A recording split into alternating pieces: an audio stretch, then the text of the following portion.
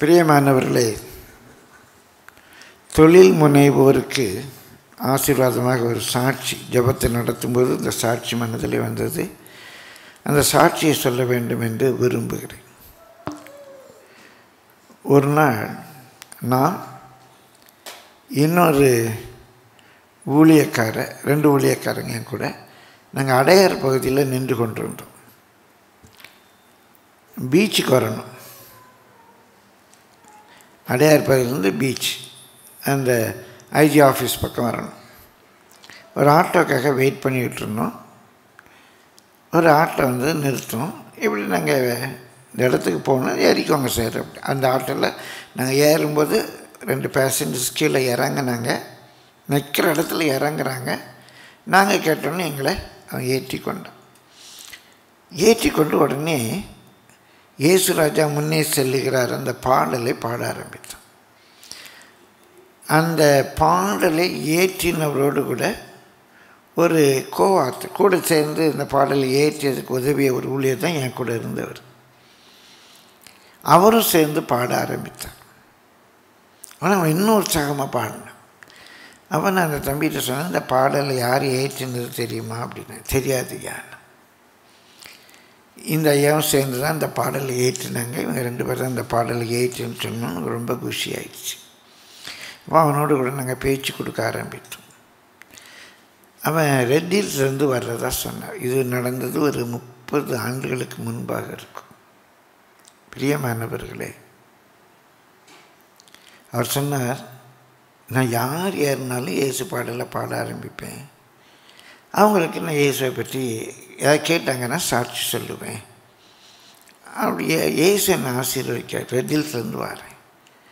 பிரியமல்ல கிட்டத்தட்ட முப்பது ஆண்டுகளுக்கு முன்பாக அவர் சொன்ன சாட்சி எனக்கு ஒரு நாள் முந்நூறுரூவா கிடைக்கும். செலவெல்லாம் போக ஒரு இரநூறுவா நிற்கும் சார் அப்படின்னு. முப்பது ஆண்டுகளுக்கு முன்பாக அவ்வளோ தூரத்துலேருந்து எப்படி? அப்படின்னு.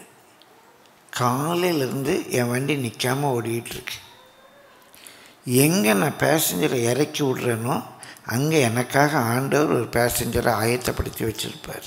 ரொம்ப உற்சாகமாக சார் சொன்னார். ரொம்ப ஆச்சரியம் என்னென்னா எனக்கு கிடைக்கிற கடைசி பேசஞ்சர் ரெட்டில்ஸாக இருக்கும் அப்படியே அவரை இறக்கி விட்டு நான் எங்கள் வீட்டுக்கு போயிடுவேன். இது வரைக்கும் ஆண்டவர் என் வண்டி ஓடாமல் நின்றதே இல்லை சார்னார். ஏதோ கொஞ்சம் மிகைப்படுத்தி சொல்கிறாருன்னு நினச்சோம். பிரியமானவர்களே நாங்கள் இறங்க வேண்டிய இடத்துல இறங்கிட்டு அவருக்கு காசு கொடுத்தோம். ஒரு டப்பா வச்சுருந்தாரு. அதுலேருந்து கரெக்டாக சில்லறை எடுத்து கூட இல்லை இல்லை இருக்கட்டும். இல்லைங்க நான் மீட்டருக்கு மேலே நான் வாங்க மாட்டேன். மன்னிச்சிக்கோங்க. அப்படின்னு சொல்லி சில்லறையை கொடுத்துட்டாரு. பிரியமானவர்களே நாங்கள் கீழே இறங்குறோம். இன்னொரு பார்ட்டி உள்ளே ஏறுறாங்க. தேவனுடைய ஆசீர்வாதம். அதான் தேவனுடைய ஆசீர்வாதம். நம்ம கருத்துக்கு உண்மையாக இருப்போமே ஆனால் என்ன தொழில் செய்தாலும் சரி அந்த தொழிலை கர்த்தர் ஆசீர்வதிக்க உண்மை உள்ளவராக இருக்கிறார். கரங்களை தட்டி கர்த்தரை ஸ்தோத்திரிப்போமா? இந்த சாட்சியை சொல்லணும் சொல்லணும்னு மனதில் ஒரு நெருக்கம் வந்தபடினா நெருடல் வந்தபடினால அந்த சாட்சியை நான் உங்களோடு கூட பகிர்ந்து கொண்டேன். கர்த்தர் ஆசீர்வதிப்பார். கர்த்தர் ஆசீர்வதிக்கிறதுக்கு ஏற்ற பாத்திரமாக உங்களை நீங்கள் காத்துக்கொள்ளுங்கள். பிரைஸ்தலால்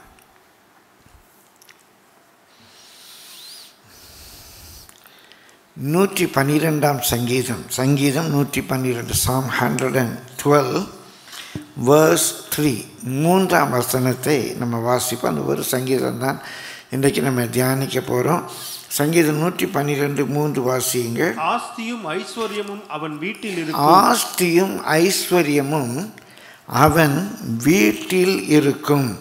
கர்த்தருடைய பரிசுத்த நாமத்துக்கு மகிமை உண்டாவதாக. கர்த்தர் இந்த வாக்கு தத்துவத்தை கொடுத்தார். ஆஸ்தியும் ஐஸ்வர்யமும். அது ஒரு ஒரு மொழிபெயர்ப்பில் செழிப்பும் செல்வமும் அவன் வீட்டில் இருக்கும். பிரியமானவர்கள் வெல்த் அண்ட் ரிச்சஸ் அப்படின்னு இங்கிலீஷில் இருக்கு. செழிப்பு செல்வம். பிரியமானவர்களே செழிப்பு ஒரு ப்ராஸ்பேரிட்டி எல்லாத்திலும் ஒரு நிறைவு. நிரம்பி வழிகிறது.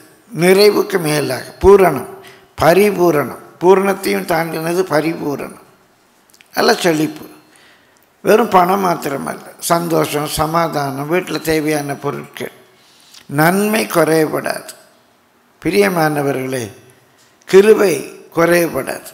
நன்மை குறையப்படாது. அதான் செழிப்பு. செல்வம். பணம் பொருள். நம்ம வீட்டில் குறைபடாமல் இருக்கும். பெரிய மலையை குறித்த அநேக குறிப்புகளை என் மனதில் நான் தியானித்து கொண்டிருந்தேன். நேற்று ஆராதனை முடித்து வீட்டில் போய் தேவ சமூகத்தில் உட்கார்ந்தபோது மிக ஆச்சரியமாக இந்த ஒரு சங்கீதத்தை குறித்தே கர்த்தர் என்னோடு கூட பேசி கொண்டிருந்தார் நான் தாழ்மையாக சொல்லுகிறேன் இந்த சங்கீதத்துக்கு முன்னால் நம்ம வாசித்ததே இல்லையா என்று நான் நினைக்க தோன்றியது. அந்த சங்கீதம் முழுவதுமே எனக்கு புதுமையாக எனக்கு ஆசீர்வாதமாக இருந்தது. அந்த ஒரு சங்கீதத்தை தான் இன்றைக்கு நான் உங்களோடு கூட பேச போகிறேன். பிரியமானவர்களே ஆ- ஆஸ்தியும் ஐ ஐஸ்வர்யமும் செழிப்பும் செல்வமும் அவன் வீட்டில் இருக்கும். அவன் யார்? ஒரு கேள்வி வருது. அவன் யார் அப்படின்னு ஒரு கேள்வி. அந்த ஆஸ்தியும் செழிப்பும் அவன் வீட்டில் இருக்கு என்று சொல்லியிருக்கிறதே அவனுக்கு அந்த- அவனுக்குரிய ஆசீர்வாதங்கள் என்னென்ன? என்னென்ன அப்படின்னா எவைகள்? என்னென்ன? இன்னொன்று என்ன என்ன கவுண்ட் பண்ண கவுண்ட் பண்ண. Count your blessings name them one by one என்ன என்ன? மூன்றாவது யோசித்தேன். எண்ணி பார்க்க என்ன என்ன? யோசித்து யோசித்து பார்க்க பார்க்க. என்ன என்ன? என்ன என்ன? என்ன என்ன? என்ன என்ன வந்துக்கிட்டே இருக்கு. அது ரொம்ப ஆச்சரியமாக இருந்ததுங்க. இந்த சங்கீதத்தை நம்ம வாசித்ததே இல்லையா அப்படின்னு கூட யோசித்தேன். இந்த காலை தியான வேளையில் அதிகமான நேரம் எடுக்காமல் அவன் யார்? அப்படிங்கிறதுக்கு அந்த சங்கீதத்திலேருந்து ஒரு ஒன்பது குறிப்புகள். ரெண்டாவது அவனுக்குரிய ஆசீர்வாதங்கள் என்ன என்ன? என்ன என்ன? ஒன்பது குறிப்புகள். அவன் யாருன்னு ஒன்பது குறிப்புகள். அவனுக்குரிய ஆசீர்வாதங்கள் யா என்ன என்ன என்று ஒன்பது குறிப்புகள். இந்த சங்கீதம் யார் எழுதுனதுன்னு இங்கே கொடுக்கப்படலை.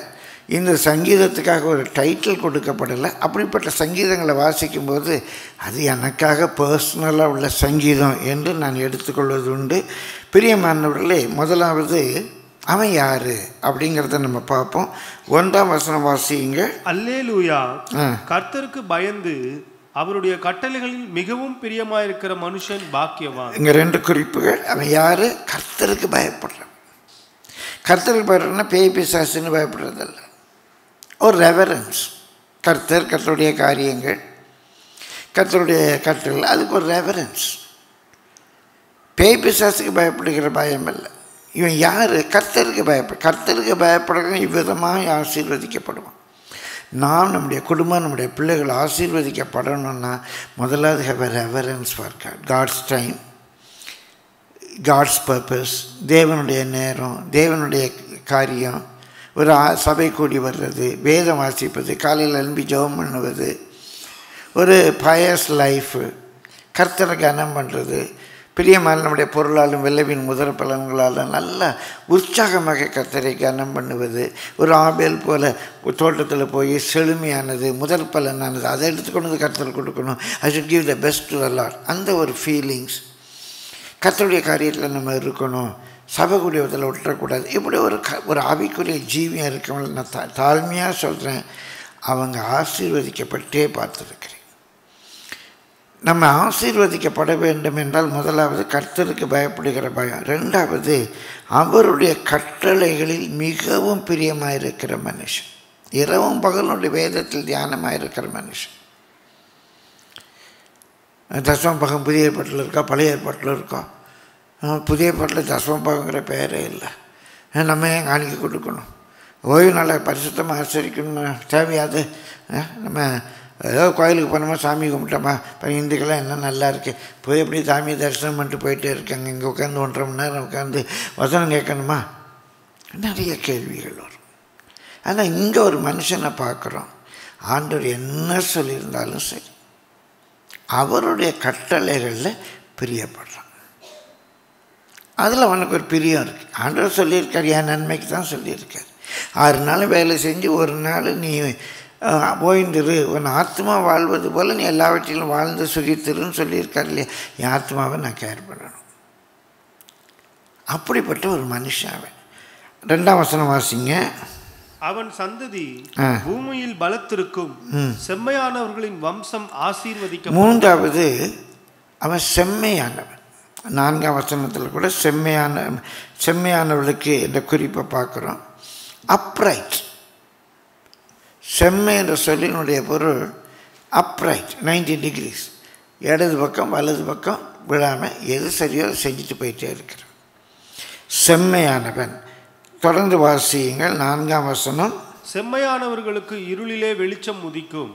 அவன் இரக்கமும் மன உருக்கமும் நீதியும் உள்ளவன். பிரியமானவர் இங்கே அவனை பற்றியுள்ள ஒரு மூன்று குறிப்புகளை பார்க்கிறோம். அவன் இறக்க குணம் உள்ளவன். அவனுக்கு ஒரு இறக்க குணம் இருக்கு. கத்துடைய பரிசுத்த நாமத்துக்கு மகிமை உண்டாவது இப்போ நான்காவது இவன் யார்? கத்தருக்கு பயப்படுறவன் கத்தோடைய கட்டளைகளில் பிரியமாக இருக்கிறவன் செம்மையானவன் ஒரு இறக்கம் உள்ளவன். இறக்கம் உள்ளவனுக்கு இறக்கம் செய்யப்படும். யார் வீட்டில் ஆஸ்தி ஐஸ்வர்யமும் இருக்கும் அவனுக்கு ஒரு இரக்க சுபாவம் இருக்கும். ஐந்தாம் வசனத்தில் பார்க்குறோம். அவன் தேவைப்படுறவங்களுக்கு இறங்கி கடன் கொடுக்குறான். நன்மை செய்ய திராணி இருக்கும்போது நன்மை செய்யாமல் போகக்கூடாது. பிரியமான நம்முடைய பலத்துக்கு மிஞ்சி அல்ல. அதுலேயும் ஒரு தேவனுடைய நடத்தல் எல்லாருக்கும் கேட்குறவங்களுக்கெல்லாம் கொடுங்கன்னு நான் சொல்கிறேன் ஒரு தேவனுடைய நடத்துதல். ஆண்டவர் கொடுக்க சொல்கிறாரா கொடுத்துட்டு போயிட்டே இருப்போம் திருப்பி தர வேண்டியது அவர் வேலை. இவன் தர்றான்னா தராமல் போகிறான் ஆனால் அதுக்காக நம்ம வந்து புத்தி இல்லாமல் செய்யுங்க என்றில்லை. தேவனுடைய நடத்தல் ஆனால் இவனுடைய சுபாவத்தில் இறக்கம் இருக்குது யாரோ கஷ்டப்படுறாங்க. நம்மளால் ஏன்ற உதவியை செய்யணும். அதனால தான் ஒன்பதாம் வசனத்தில் பார்க்குறோம். அவனை பற்றி வாரி இறைத்தான் ஏழைகளுக்கு கொடுத்தான் அப்படின்னு இருக்கு. யார் வீட்டில் ஆஸ்தி இருக்கும்? பிரியமானவர்கள் இறைக்கிற கிணறு தான் ஊருன்னு சொல்லுவோம் நம்ம வேதாகமத்தில் நீங்கள் பின்பக்கத்தில் பார்த்தீங்கன்னா பாலஸ்தீன படம் இருக்கும்.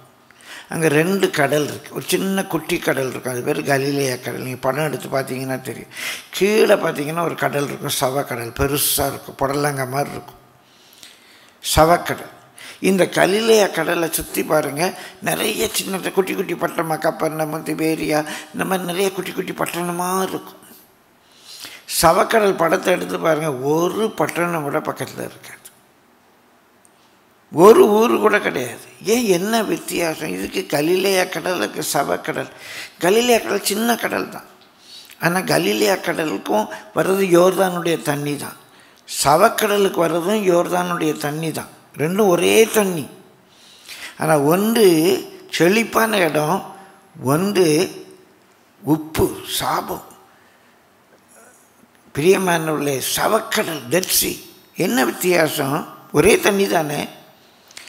யோர்தா நதி கலிலியா கடலில் விழுந்து கலிலியா கடல்லேருந்து வெளியே போகும் உள்ளே வந்து விழும் விழுந்த தண்ணி வெளியே போகுது. There is an inflow and outflow அந்த தண்ணி எப்போதும் ஃப்ரெஷ்ஷாக இருக்கும். அங்கே நிறைய மீன் இருக்கும். சுற்றி நிறைய பட்டணங்கள் இருக்குது ஆனால் சவக்கடலுக்குள்ளே போகிற தண்ணி சவக்கடல்லையே தங்கிடும் சவக்கடல்லேருந்து வெளியே போகாது. பிரியமானவர்களே நமக்கு ஆண்டவர் இறக்கம் பாராட்டணுமானா? நமக்கு இறக்க குணம் உண்டு. உங்கள் ஆசீர்வாதத்துக்கு அந்த வசனத்தை காட்டி கடந்து போகிறேன். நூற்றி பன்னெண்டு நீதிமொழிகள் பதினோராம் அதிகாரம் இருபத்தி நான்கு இருபத்தைந்து வசனத்தில் வாசிக்கிறோம். நீதிமொழிகள் பதினொன்று இருபத்தி நான்கு இருபத்தி ஐந்து வாரி இறைத்தும் விருத்தி அடைவாரும் உண்டு. வாரி இறைத்தும் இதான் கல்லிலேயே கடை விருத்தி அடைவாரும் உண்டு. அதிகமாய் பிசினித்தனம் பண்ணியும் வறுமை அடைவாரும் அதிகமாய் பிசினித்தனம் பண்ணியும் வறுமை அடைவார் உண்டு. முதல்ல அது நம்ம வீட்டுக்காக செலவழித்து பழகணுங்க. நம்ம பிள்ளைகளுடைய தேவைகளை தெரிஞ்சுக்கணும். உதார அதாவது உதாசீனமாக செலவழிக்கணும்னு சொல்கிறார் நம்ம அனுபவிப்பதற்காக சல சகல ஐஸ்வர்யத்தை அவர் தர்றார். நம்ம அப்பா அம்மாவை கவனிக்கணும். நம்மிடத்தில் பணி செய்கிறவர்களை கவனிக்கணும். நல்ல வாரி இறங்க. பிசினித்தனம் பண்ணியும் வறுமை அடைவாரும் உண்டு. உதார குணமுள்ள ஆத்மா செழிக்கும் எவன் தண்ணீர் பாய்ச்சுகிறானோ அவனுக்கு தண்ணீர் பாய்ச்சப்படும்.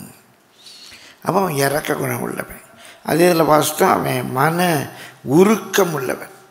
ஆறாவது அவன் நீதியும் உள்ளவன். இதெல்லாம் நான்காம் வசனத்தில் பார்க்குறோம் ஐந்தாம் வசனத்துக்கு வாருங்க. இறங்கி கடன் கொடுத்து. தன் காரியங்களை நியாயமானபடி நடப்பிக்கிற மனுஷன் பாக்கியவான். ஏழாவது இந்த மனுஷன் யார்? தன்னுடைய காரியங்களை நியாயப்படி நடப்பிக்கிறான். எது நியாயமோ அதை செய்கிறான் கொடுக்கல் வாங்கல் எல்லா விஷயத்திலேயும் அவன் நியாயத்தை பின்பற்ற விரும்புகிறான். ஆறாவது வசனம் வாசியுங்க அவன் என்றென்றைக்கும் அசைக்கப்படாதிருப்பான். நீதிமான் நித்திய கீர்த்தி உள்ளவன் பிரியமானவர்கள் அவன் யார்? நீதிமான். எட்டு குறிப்பு சொல்லிட்டேன் அவன் நீதிமான். நீதிமான் என்ற சொல்லின் பொருள் what is right for God is right for me what is wrong for God is wrong for me எது தேவனுக்கு சரி அது எனக்கு சரி. எது தேவனுக்கு தவறோ அது எனக்கு தவறு. தட்ஸ் அ ரைட் ஸ்டாண்டிங் எல்லாத்துலேயும் he takes a right standing அந்த ரைட் ஸ்டாண்டிங் எப்படி தெரியும்? பைபிளில் என்ன சொல்லியிருக்கு? தட்ஸ் த ரைட் ஸ்டாண்டிங் அவன் நீதிமான். பிரியமான ஏழாம் வசனம் வாசிங்க. துர்ச்செய்தி. கேட்கிறதினால் பயப்படான்.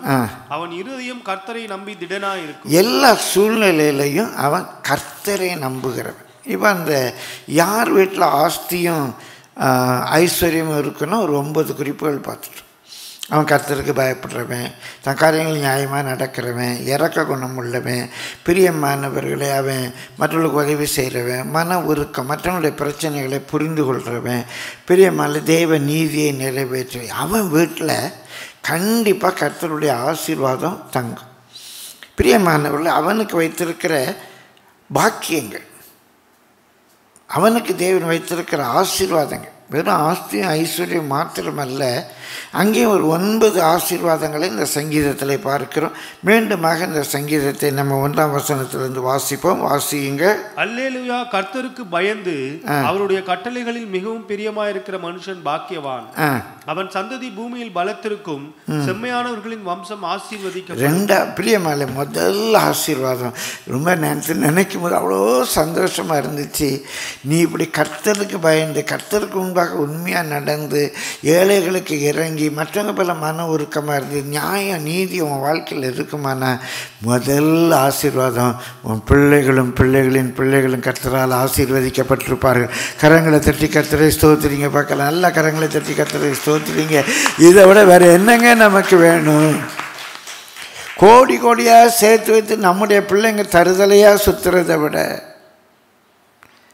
சந்ததி என்று சொன்னால் சீட் உங்கள் பிள்ளைகள். உங்கள் வித்து உங்கள் சீட் ஜெனரேஷன் வம்சம். பிள்ளைகளின் பிள்ளைகள் அவர்கள் பிள்ளைகள். ஆயிரம் தலைமுறைன்னு வச்சுக்கோங்க முதல் ஆசீர்வாதம் உன் பிள்ளைகள் கர்த்தரால் போதிக்கப்பட்டிருப்பார்கள். உன் பிள்ளைகளுடைய சமாதானம் உன் பிள்ளைகளுடைய ஷாலம் உன் பிள்ளைகளுடைய ப்ராஸ்பேரிட்டி பெரிதாக இருக்கு. இயேசு நாமத்தில் நான் வாக்கு கொடுக்குறேன். ரெண்டாவதாக மூன்றாம் வசனம் வாசியுங்கள். ஆஸ்தியும் ஐஸ்வர்யமும் அவன் வீட்டில் இருக்கும். அவனுடைய நீதி என்றென்றைக்கும் நிலைக்கும். பெரியமானவர்கள் அவனுக்கு கிடைக்கிற ரெண்டாவது ஆசீர்வாதம் ஆஸ்தியும் ஐஸ்வர்யம் அவன் வீட்டில் இருக்கும். உன் வீட்டில் நன்மை குறைபட விட மாட்டேன். நன்மையினால் உன் வாழ்க்கை நிரம்பி இருக்கும். மூன்றாவது உன்னுடைய நீதி என்றென்றைக்கும் நிற்கும். இன்றைக்கி உலகத்தில் உனக்கு விரோதமாக கிரியை செய்தாலும் கூட கர்த்தர் பட்ட பகலின் வெளிச்சத்தை போல எல்லாரும் காண உன் நீதியை வெளிப்பட பண்ணுவார். உன் பிள்ளைகள் ஆசீர்வதிக்கப்படும். ஆஸ்தியும் செல்வமும் வீட்டில் இருக்கும். உன்னுடைய நீதி என்றென்றைக்கும் நிலைத்திருக்கும். வாசிங்க நான்காவது வசனம். செம்மையானவர்களுக்கு இருளிலே வெளிச்சம் உதிக்கும். பிரியமான கர்த்தருடைய பரிசுத்த நாமத்துக்கு மகிமை உண்டாவதாக நான்காவது அவர்களுக்குள்ள ஒரு ஆசீர்வாதம். வாழ்க்கையில் பல சூழ்நிலைகளை இருட்டு வரும். அடுத்தால என்ன செய்கிறதுன்னு தெரியாது. எப்படி பிஸ்னஸை ப்ரொசீட் பண்ணுறதுன்னு தெரியாது. பிள்ளைகளுடைய காரியங்கள் என்ன பண்ணுன்னு தெரியாது. ஆனால் இயேசுவின் நாமத்தில் உங்களுக்கு தேவனுடைய ஊழியனாக நான் வாக்கு சொல்லுகிறேன். இன்றைக்கு நீங்கள் இருளில் இருந்தாலும் அடுத்த ஸ்டெப் என்னன்னு தெரியாமல் இருந்தாலும் உங்கள் இருளில் வெளிச்சம் உதிக்கும் கரங்களை தட்டி கத்தரை ஸ்தோத்திரிப்போமா? There shall be light in your darkness பிரியமானவர்களே அது குறித்து நான் விவரமாக சொல்ல விரும்பலை. சில நாட்களுக்கு முன்பாக ஒரு கவர்மெண்ட் ஷெல்டர் பல சூழ்நிலைகளிலே பாதிக்கப்பட்ட பெண்கள். அடுத்த கட்டம் அவங்களுக்கு என்ன வாழ்க்கைன்னு தெரியாமல் உள்ள பெண்கள். அவங்களுடைய காப்பகம். அந்த காப்பகத்துக்கு போய் கத்தருடைய வார்த்தையை பகிர்ந்து கொள்ள அவங்கள சந்திக்க கத்தர் ஒரு வாய்ப்பு கொடுத்தார். பிரியமல் ஒரே ஒரு பாடல் நாங்கள் பாடினோம் வேறு நான் பிரசங்கம்லாம் பண்ணலை. ஒரே ஒரு பாடல் தான். காரிருளில் என் நேச தீபமே. ஏறத்தால் எல்லாரும் அழுதுட்டு பாடினாங்க. இப்போ உங்களுக்கு ஒரு லைட் வேணும். பிரியமானவர்களே என்னை அழைத்து கொண்டு போனாங்க அடுத்த நாள் சொன்னாங்க. காலையிலே ஒரு அங்கே இருந்த ஒரு இன்மேட் தங்கியிருந்த ஒரு பெண் ரொம்ப சத்தமாக சொன்னாலாம் நம்ம ஷெல்டருக்கே வெளிச்சம் வந்துடுச்சு நம்ம ஷெல்டருக்கே வெளிச்சம் வந்துடுச்சு அப்படின்னால அவங்க ஃபோன் பண்ணி எனக்கு சொன்னாங்க. அவ்வளோ சந்தோஷம். அப்படி அவங்க முகத்தை நாங்கள் பார்த்ததே இல்லை. அவ்வளோ சந்தோஷமாக சொன்னாங்க. நம்ம ஷெல்டருக்கே வெளிச்சம் வந்துடுச்சு பிரியமான கத்திற்கு பயந்து கத்தருடைய காரியங்களை தங்களை நிலைநிறுத்தி கத்தருடைய கற்பனைகளை மிகவும் பிரியமாக இருக்கும்போது இயேசுவின் நாமத்தில் சொல்கிறேன் இருளில் உங்கள் வெளிச்சம் உதிக்கும். ஹலலூயா இருள் வெளிச்சமாகும். எங்கேருந்து அந்த வெளிச்சம் வரும்? இருளிலிருந்து வெளிச்சத்தை பிரகாசிக்க சொன்ன தேவன். விளக்கி சொல்லிட்டே போகலாம் ஒவ்வொரு பாயிண்ட்டும் ஒரு பிரசங்கம். ஐந்தாறு வசனங்களை சேர்த்து வாசிப்போம். இறங்கி கடன் கொடுத்து. தன் காரியங்களை நியாயமானபடி நடப்பிக்கிற மனுஷன் பாக்கியவான். அவன் என்றென்றைக்கும் அசைக்கப்படாதிருப்பான். நீதிமான் நித்திய கீர்த்தி உள்ளவன். ஐந்து ஆறு ஆசீர்வாதங்கள் ஐந்தாவது ஆசீர்வாதம். அவன் எந்தென்றைக்கும் அசை அசைக்கப்படாதிருப்பான். நத்திங் கேன் ஷேக் ஆசீர்வாதங்களை நேற்று ராத்திரி யோசித்தேன். அள்ளி எடுத்துகிட்டு போங்க. வந்திருக்கிறீங்கல்ல? அள்ளி எடுத்துகிட்டு போங்க. Nothing can shake you brother nothing can shake you sister ஒன்றும் அசைக்கவும் முடியாது ஆட்டவும் முடியாது. லெட் கம் வாட் மீ அவன் அசைக்கப்படாது இருப்பான். நித்திய கீர்த்தி உள்ளவன். என்றென்றைக்கும் அவனுடைய பெயர் மறைந்து போகாது. தலைமுறை தலைமுறையாக நினைப்பாங்க. உன் கீர்த்தி உன் name your name shall be remembered for ever ஏழு எட்டு வருஷங்களை சேர்த்து வாசிங்க துர்ச்செய்தியை கேட்கிறதினால் பயப்படான். அவன் இருதயம் கர்த்தரை நம்பி திடனாயிருக்கும். அவன் இருதயம் உறுதியாயிருக்கும். அவன் தன் சத்துருக்களில் சரிக்கட்டுதலை காணும் மட்டும் பயப்படாதிருப்பான். பெரிய ஏழாவது ஆசீர்வாதம். அவன் அசைக்கப்படாது இருப்பான் சில மாறுபாடான சூழ்நிலைகள் வரலாம். துர்ச்செய்திகள் கூட இப்படி ஆயிடுச்சான் இப்படி வரப்போதான் இந்த மாதிரி நடக்கும். என்னென்னமோ வரும் கேட்போம். ஆனால் அவன் அசைக்கப்பட மாட்டான். அவன் இருதயம் கர்த்தரை நம்பி அவன் இருதயம் உறுதியாக திடனாக இருக்கும் சாலிடாக இருக்கும். தர்சையோ பி சாலிட் cheer அப் சாலிடாக இருக்கும். ஐயோ என்ன ஆகுமோ? அப்படிலாம் தோண்டு போகாது. அவன் இருதயம் கர்த்தரை நம்பி த பிரியமலை திடனாக இருக்கும் உறுதியாக இருக்கும் பயப்படாது இருப்பான். மூணு இந்த ஏழாவது குறிப்பிலே இருக்கு. உறுதியாக இருக்கும் திடனாக இருக்கும் பயப்படும். ஒன்பதாம் வசனம் வாசியுங்க. மாறி இறைத்தான். ஏழைகளுக்கு கொடுத்தான். அவனுடைய நீதி என்றென்றைக்கும் நிற்கும். அவன் கொம்பு மகிமையாய் உயர்த்தப்படும். பிரியமானவள் இதில் ரெண்டு ஆசீர்வாதம் எட்டு ஒன்பது ஆசீர்வாதங்கள் அவனுடைய நீதி என்றென்றைக்கும் நிற்கும். அவன் என்றென்றைக்கும் நீதி உள்ளவன். அதனால் அவனுடைய நீதி என்ன வேணாலும் வரட்டும் என்ன ஆட்சி வேணாலும் மாறட்டும் என்ன காட்சி வேண்டுமானாலும் மாறட்டும். அவன் நீதி என்றென்றைக்கும் இருக்கும். அவனுடைய நீதி என்றென்றைக்கும் இருக்கும். பிரியமானவர்களே அவனுடைய கொம்பு கொம்பு என்று சொன்னால் அவனுடைய ஸ்ட்ரென்த் அவனுடைய கிரெடிட் அவன் கொம்பு. எப்படா பெரிய கொம்பு அவன் அப்படிமா பெரிய கொம்பு அவன். பிரியமானவர்களே இந்த கொம்பை பற்றி ஒன்று சொல்கிறேன் எங்கள் ஊரில் ஒரு சொற்றொடர் உண்டு. மாடு இழைச்சாலும் கொம்பு இழைக்காது. மாடு இழைச்ச இழைச்சாலும் அப்படியே மாடு வயசாகி பலவீனமாகி அப்படியே மாடு தோன்றும். கொம்பு இழைக்குமா? ஆ? அதாங்க கொம்பு. அவன் தான் கொம்பன். அவன் கொம்பு என் மகிமையாய் உயர்த்தப்படும். ஒன்பது ஆசீர்வாதம் பிரியமானவர்களே இந்த பாக்கியவான் பாக்கியவான் சொல்கிறோம் இல்லையா? பாக்கியவான் என்ற சொல்லினுடைய பொருள் என்வியபிளி ஹாப்பி என்வியபிளி ஹாப்பி பாக்கியவான். பாக்கியம் வந்துடு. பாக்கியம் அப்படின்னா என்ன? நாலு பேர் பார்த்து பொறாமைப்படக்கூடிய அளவுக்கு அவன் சந்தோஷமாக இருப்பான். நம்மை பார்த்து நாலு பேர் பரிதாபப்படக்கூடாது. ஆனால் பொதுவாக நம்மள சிலருக்கு எண்ணம் யாராவது நம்மளை கண்ணு போட்டுறக்கூடாது. நம்மளை பற்றி ஏன் இப்படி வீக்காக இருக்கீங்க? அப்படின்னா நமக்கு ச அவன் நல்ல வேலைப்பா. நான் ரொம்ப கஷ்டப்படுறீங்க? சொல்லிட்டா சந்தோஷம். யாராவது நீ நல்லா இருக்க அப்படின்னு சொல்லிட்டா நம்ம கஷ்டமாக இருக்கு சிலருக்கு. ஆனால் பாக்கியம் அப்படின்னு சொன்னால் உங்களை பார்த்து நாலு பேர் பராமப்படுவாங்க உங்கள் வாழ்க்கையை பார்த்து நாலு பேர் பராமப்படுவாங்க அவன் ஏன் பாக்கியவான் தெரியுமா? கடைசி வசனத்தை வாசிங்க. துன்மார்க்கன் அதை கண்டு மனம் அடிவாகி. உங்களை கர்த்தர் ஆசீர்வதித்திருக்கிற ஆ- அள்ளிட்டு போங்க அள்ளிட்டு போங்க. உங்களை கர்த்தர் ஆசீர்வதித்திருக்கிற ஆசீர்வாதத்தை பார்த்து துன்மார்க்கனுடைய மனம் மடிவாயிரும். என்னப்பா இந்த குடும்பம் இப்படி இருக்குது? சாதாரண ஒரு பிஸ்னஸ் ஆரம்பித்தான் இப்படி இங்கே எங்கே போயிட்டான் இவன்? பிரியமானவர்களே ஒரு அருமையான ஐயா இன்றைக்கு தேவனால் வல்லமையாக பயன்படுத்தி விடுற ஐயா. சென்னைக்கு வேலை தேடி வந்தார். வேலை உடனே கிடைக்கல. ஹோட்டலில் வெயிட்டராக சேர்ந்தார். நல்லா உண்மையாக வேலை செஞ்சார். நான் பேர் சொல்ல விரும்பல இங்கே இருக்க எல்லாருக்கும் ஒரு வேலை அவரை பேரளவில் தெரிஞ்சிருக்கும் ஹோட்டலில் அவர் செய்கிற வேலையை பார்த்து அவரை சூப்பர்வைசராக போடலாம் சூப்பர்வைசராக போடலாம் இன்னும் நல்ல வேலை செஞ்சார். அப்போ அந்த வேலை அங்கே கார் பார்க்க கார் வரல டிரைவர்ஸ்டெல்லாம் பேச ஆரம்பித்தார் கருத்தில் அவர் ஆசீர்வதிச்சார். அந்த ஹோட்டலில் மேனேஜர் ஆனார். இந்த டிரைவர்ஸ் வர போகிறவங்கெல்லாம் பழகி கார் வாங்கி விற்கிற பிஸ்னஸ் செய்தார். அந்த ஹோட்டல் ரொம்ப ஆசீர்வதிக்கப்பட்டது.